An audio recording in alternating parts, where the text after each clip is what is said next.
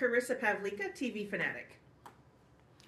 Okay, Very nice T- to meet you, Gary. great to meet you. Uh, being a TV fanatic, were you surprised today when it it had in the paper that the Emmys only pulled a four rating or four million people?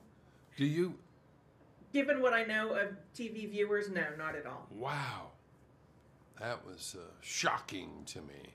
And Maybe Masters of the Air will add to that conversation in the coming year. with Wouldn't all that the be nice? I- okay, sure, yeah, I- I'd like that.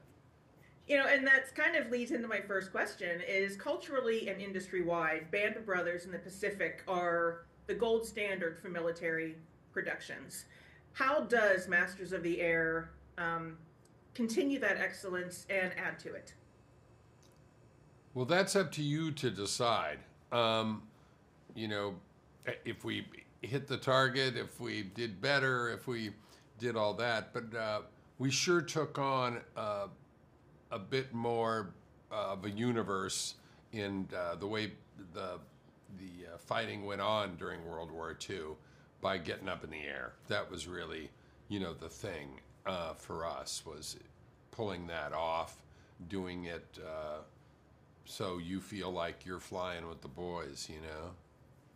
It was achieved. Um, those scenes were mesmerizing. I, it was scary as hell and yet very inspiring. What was the key to bringing those to life? Well, really, uh, technology. You know, I'm sorry to say it's such a bland answer, but you know, we had wanted to uh, once we had the stories that we thought we wanted to tell in Masters of the Air, we still didn't think we could really pull them off, and so that became the real challenge. You know, we we got a brilliant uh, visual effects supervisor, Academy Award winner in Stephen Rosenbaum, and he really helped us, you know, form uh, uh, form the action up there and how to tell those stories up there because, you know, it, it was it was more complicated than uh, probably what we've seen of late. Do you think that the 10 year time that it took you to get this production out there actually worked in your favor in that regard? Oh yeah, it had to. You know, that's the thing. I don't I don't want to, you know, make any excuses for 10 years cuz we're slow. We don't we don't move super fast, you know, and we make a lot of things and and that stuff and uh, and you don't rush the story, you know, you let it bang around, get to where it's going to get to.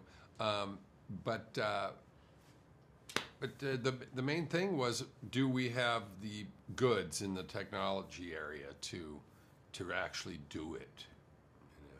You know? Um, at the premiere, you probably had the best critics out there, the 100th Bomb, Bomber Brigade Veterans Group. I love you. what was their reaction? I got the nicest notes, and they were just like everything was, you know, blah blah, blah.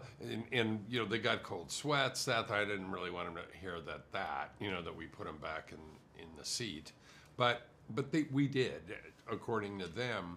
And then one of them said, "There's one thing you didn't get right," and, uh, and then he said, "The bars weren't crowded enough."